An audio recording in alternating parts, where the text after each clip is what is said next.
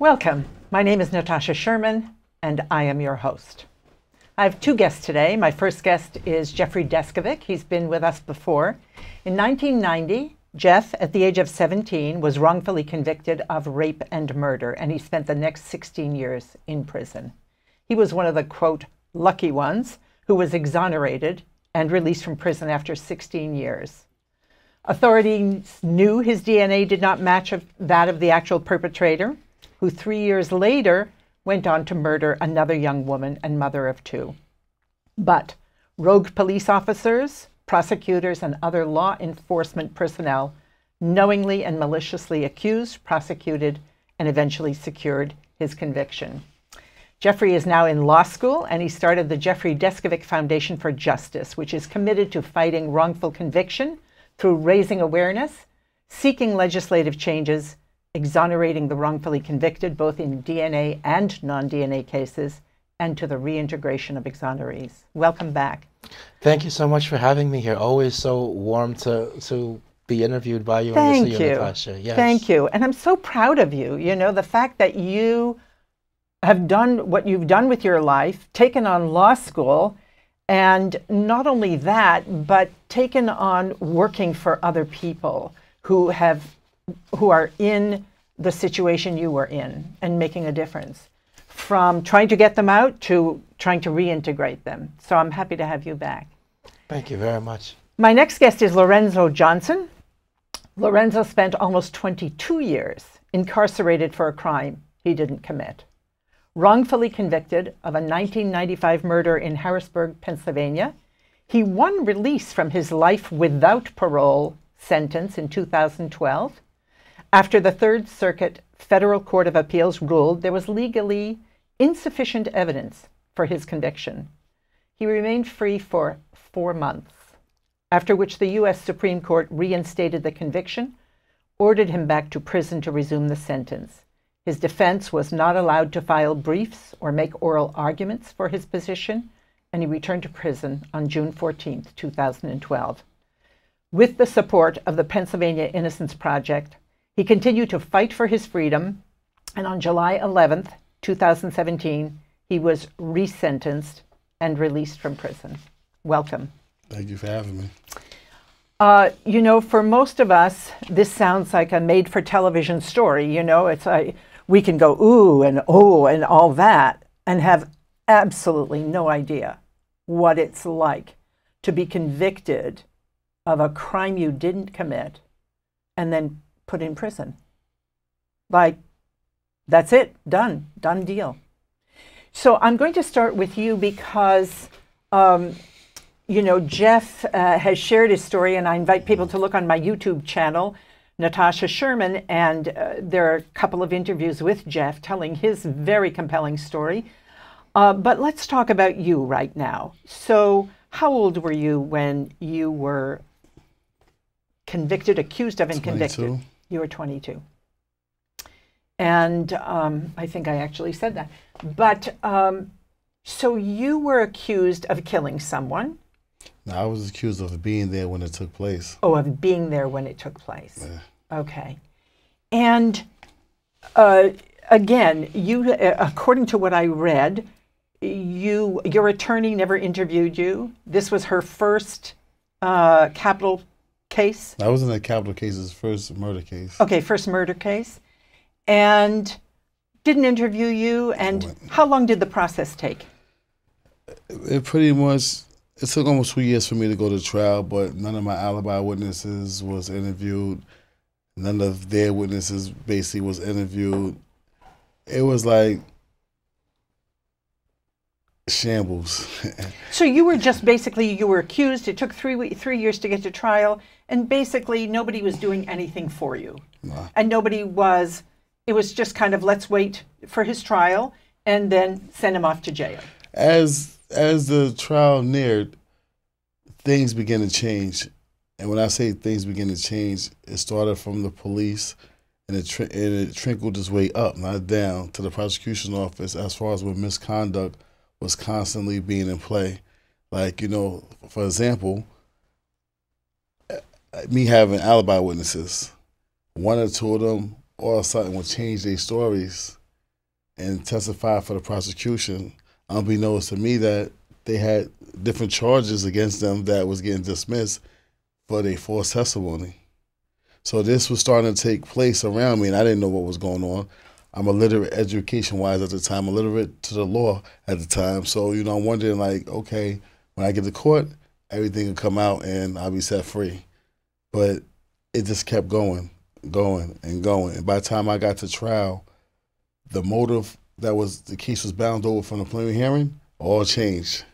The whole theory changed once I got to trial. And so they lined up all this kind of false evidence yeah.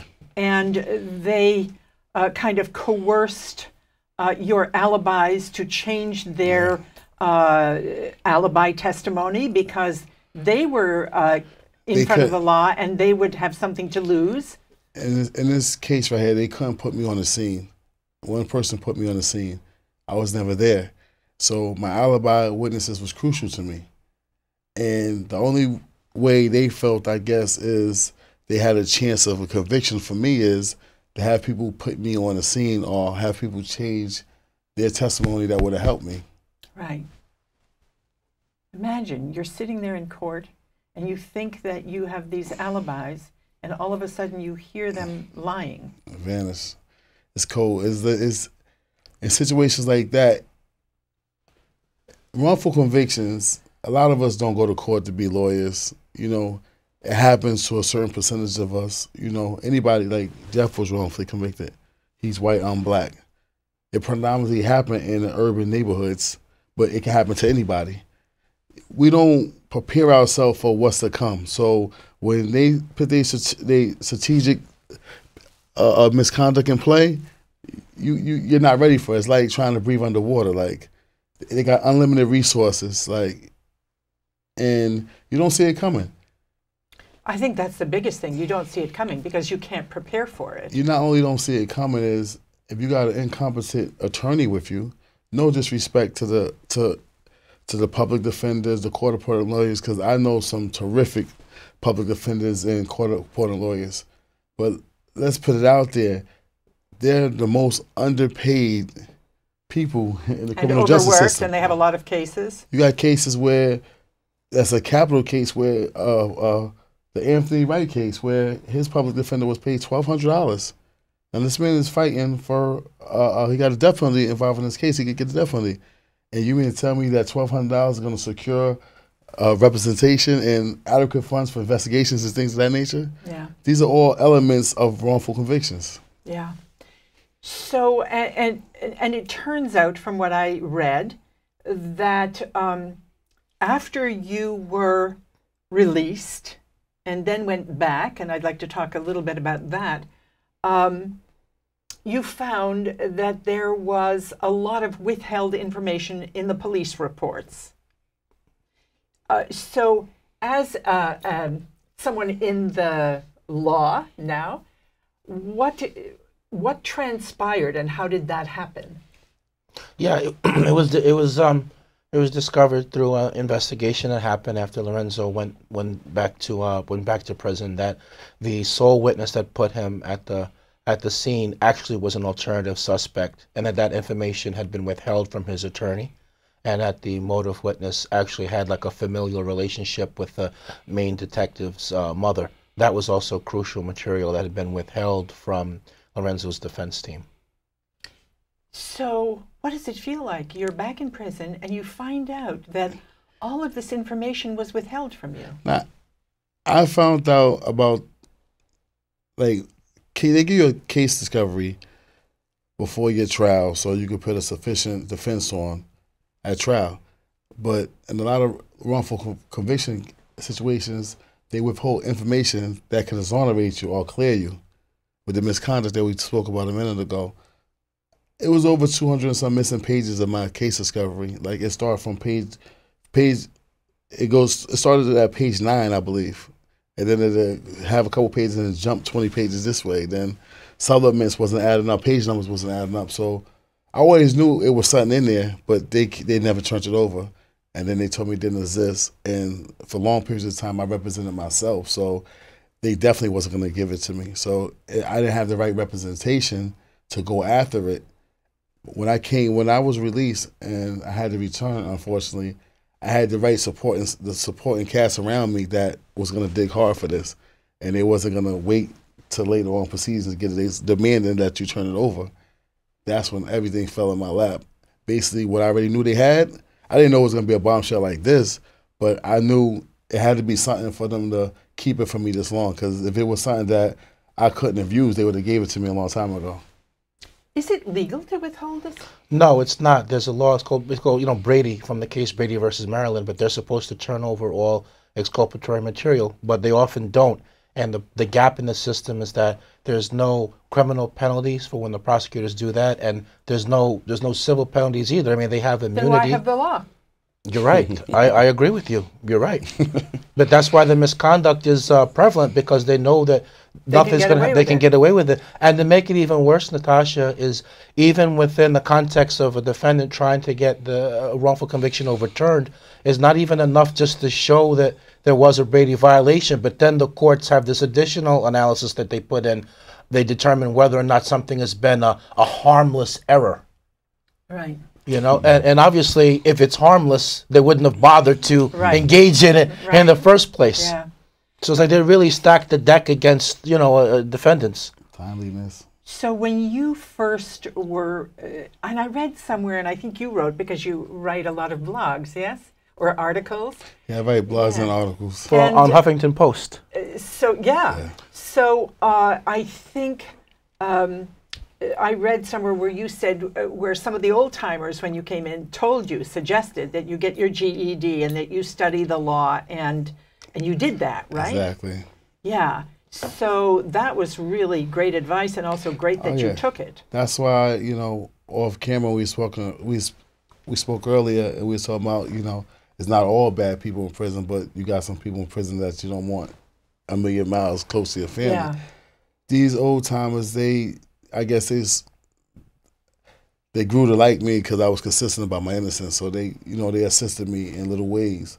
And that's probably like the best information I could ever get behind the walls as far as get my education. I was gonna do that regardless, Yeah. but the the force, like the push from them, like get your education, and assisted me with the they, they was assisting me with the law when I was lost because the first book they gave you is the uh, Pennsylvania Criminal Rules of Procedures. Now this is a book that probably consists of three to four thousand pages. Now somebody that's illiterate, you put a book this big in front of them, they looking at you like, what am I supposed to do with this? Like, Yeah. And it was like once I started, once I achieved my GED and I enrolled in college classes, you know, my brain opened up to a lot of the words because a lot of the words in law is Latin. So you know, you wouldn't know without a law dictionary. So if you can't use a regular dictionary, how you gonna use a law dictionary? So uh, things came into play, and as I got educated, my eyes opened to what was what what took place with me. Yeah. Wow. That's really impressive. Um, but so you're in there. Did you actually, when you're in there, believe like I'm never going to get out? Nah, nah, I never, I never adopted that attitude. I always knew I would get out. I just didn't know when. That was my whole thing. You were the same. Yeah, that's a com- that's a common characteristic of people who are wrongfully um, convicted. And if we would have thought the other way, then Yeah. 95% of the time we, we would never reemerge. Right. Right. you have people that's innocent that went that route, you know, because like I said, you it's like trying to breathe underwater. It's like a lot of people bust under that pressure of inside and they stop fighting and they Yeah. give up and they conform to prison life. Yeah. And you would never think that, you know, they was innocent, but they gave up. They didn't want to fight no Yeah. more. And you know, I think the fact that you engaged and you got educated and, and you were proactive, but there are a lot of people who are on death row. Uh, I interviewed uh, a, a criminal attorney from California, and he said there are, I think, 747 inmates waiting on death row, most of them people of color, all of them poor. So if you're in prison and you, you're innocent and you're not educated and you don't get educated, who's going to advocate for you and you can't advocate for yourself? I mean, it's just, uh, you know, unbelievable. It's not even, I, I can't even say that you'll be forgotten because people don't even know. Yes, yes. They didn't know about you in the first place. Yes, yeah. you go. Uh, So I want to ask you, um, you know, so you got out and, and they said, okay, you know, there wasn't enough evidence. And here you are, like, oh my God, free at last. And then four months later, they say, oops. Uh, What that was, was that like? That was the uh, second bittersweet pill. It's like it's two Yeah. of them. It's, it's Maybe you can get into a little bit, you know, getting the call from, you know, attorney you Michael Wiseman and what I got a call that. from my lead attorney, Michael Wiseman, and uh, I'm at work. I was doing a flag at that time for San Mateo Construction, who I still work for now. Uh, he was crying during the call, so it was distorted. So I didn't know what he was talking about in the morning, but only thing I heard was your conviction has been reinstated. That's at the end of the call, like at the end of his sentence, I heard that. So I instantly got numb 'cause I thought like maybe he said something wrong, I heard it wrong. Or then he went on to tell me what took place. You know, United States Supreme Court on May 29th, they made a decision per curiam of reinstating my conviction without allowing my uh, legal team to file briefs or oral argue normal procedures all in one day. So I was numb. Like that's any innocent person who got out of prison, their worst nightmare took place with me. Like any is on the read. I mean, like, Yeah, that the courts would change their mind and you got to Yeah. go back. That's the that's the That's nightmare the worst of all nightmare. innocent of prisoners. Innocent, any innocent prison. You ask them what's their worst nightmare, and they'll tell you if I got to go back. You know, and uh, I was numb. Like I, I didn't have no feeling. I can imagine. You numb because you get flashes in your head what you went through. I, I did 16 and a half years, so everything is numb. Like I got started all over again, and as far as legal wise, because you can't argue the issues that you raised up. You know that got you out. They're over now. The United States Supreme Court is the highest court. Now you got to go back downstairs and start all over again and try to mount up another defense. You know, mount up some new evidence that show that you're innocent. So it was it was numb. To I was numb. I was numb. You know, I- had called the foundation, Jeff Foundation, and uh, told them what was going on. I had left work, drove down to the Jeffrey Deskovic Foundation, and I just went in the back office and by myself and just you know try to gather my thoughts Yeah. while the lawyers that was there was back and forth with the Pennsylvania lawyers trying to find out what's what could be done, what happened, like you know where we go from here. And it was like I, I started reaching out to a couple family members, letting them know what took place, but I can't even tell you how I felt. I didn't have no feeling. I was numb. Like And within uh, how much of it, how long did you have after he let you know to then show up? from May 29th to June 12th. Okay, so you have two weeks to process this and to decide whether you're going to bolt and run. Exactly. Uh, Let me just say this: that in, during that interview, during that intervening period, uh, you know, Lorenzo and I made a number of moves. We tried on a political level. You know, I contacted a number of elected officials I knew. I brought Lorenzo with me up to Albany. We were at, to participate in a press conference that I was doing in connection with the Innocence Project on on wrongful conviction legislation. But I just threw him in front of the cameras, you know, at, at their press conference. that I- You know, because we were desperate. We're trying to Of stop him from going back. But Yeah. all the moves we made, it, was- did, yeah, didn't work. didn't Nobody work. was willing willing to, uh, to to to do anything. And so in the end, we had to we had to go on this uh, terrible car ride together. Yeah. You know, Lorenzo asked me, called me up, and one day, and you know, he asked me to do the most difficult thing I've ever had to do in my life. Um, uh, after being exonerated myself, he said, "Jeff, listen, I, I need you to drive me back to prison, man, because I got no one to take me, and otherwise, I'm gonna just be going on this lonely ride and taking buses." Uh, you know, Oh my. God! and right. yeah, and so I wanted so bad to tell you no Mm-hmm. that I can't drive you back to prison or resume a life without parole sentence on a case you were innocent of. But I, I couldn't because I couldn't just have you on the buses, and so that ride was oh my god, that ride was terrible there. It's like taking someone to, uh, you know, an execution. Yes. This is- in, yes. in a way, in a way, you look at it, it, it was very mentally, like, how can I say it? Draining. Nah, that's the understatement. Yeah, It was like it is. you know the show the mind it was like it was just think about it you're leaving the confines of your family to voluntarily drive yourself back to a natural life sentence no parole like knowing you were innocent Knowing and you were knowing innocent. that the system failed you already, Already. and now they're saying, "Oops, Go back go and- back and try again." You know it was like i wish it on no one like you know what i went through like that day of that drive going back was like if you ask anybody, like you ask yourself, would you do that? You'd be like, I am not doing that. Like I'm out, I'm going the other, other direction. Don't get me wrong. I had them thoughts. I entertained everything. And what had you not run? Hmm? What had you decide to go instead? Because of, I was innocent and I had a nice supporting cast around me, and I felt that I Mm. had what it need. I had what was needed to win. Right. I didn't think that it was going to take this long. You know, I didn't think that certain things was going to turn out the way they turned out. But uh the ride going back was like it was surreal because it was like we both was playing different roles at different times. Half the time I was telling him, "Look, Renz, it's gonna be all right, bro. We, you know, we're gonna get this. We're gonna do the investigation's gonna take place. You know, we're gonna turn this thing around four or five months. We'll be back in court. You know, and half the time I'm telling him that to comfort him, and, then, then- like five minutes Yeah. later, he's telling the same thing to me because now I'm in this. So we're alternating roles, Yeah. and then uh, and then also it felt crazy what we were doing. We're was rotating drivers, Yeah. and then on top of that, people are calling Lorenzo in and uh, up, and like everybody is telling him, "What are you nuts? You're going back where? What you know? Like turn that car around and Yeah. go in the opposite direction." Uh, yeah, so he got a lot of calls like that, and then he's explaining. Half the people don't understand the legal context, so he's trying to educate them really, really quickly. Also, Yeah, it um, then we had the, the last, the like our version of the Last Supper, right? last the last meal. lunch, the last meal. yeah. Yeah, uh, just before he turned himself in, it was. Um, I don't think anyone can imagine it, you know? No. Yeah. It's almost like, and this is a horrible thing to say, but it's like people heading to the concentration camps. You know, Yes. you know Yeah. you're getting on the train. Yeah.